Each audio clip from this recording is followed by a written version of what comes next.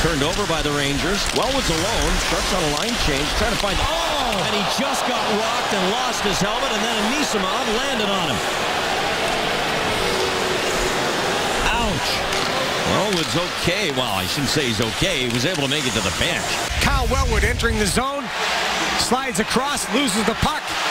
Big pop coming up. Boom. That's a good, solid, clean body check right there.